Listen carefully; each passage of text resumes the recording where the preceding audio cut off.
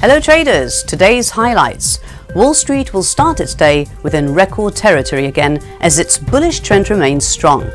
It's Monday, January the 29th, and here's our daily market review. Personal spending statistics will come from the US today, but investors will be focused on the days ahead as President Trump is scheduled to make his State of the Union speech late on Tuesday. And the Federal Reserve will issue its monetary policy statement midweek.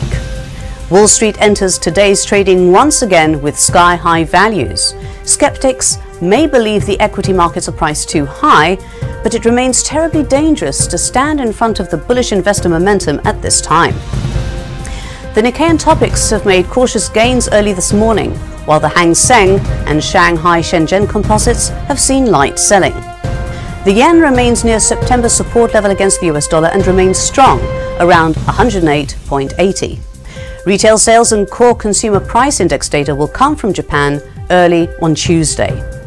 It'll be a quiet day of data for the European Union and UK, but tomorrow EU growth and inflation numbers will be published. The euro and pound have come off their highs made early last week against the US dollar. European equities did manage gains on Friday and the DAX has added more than 3% of value the past month, while the FTSE has struggled and treaded water.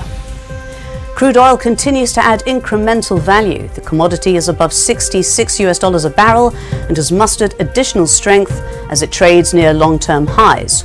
Momentum has been strong for US crude oil since late October and speculators may continue to look for upside.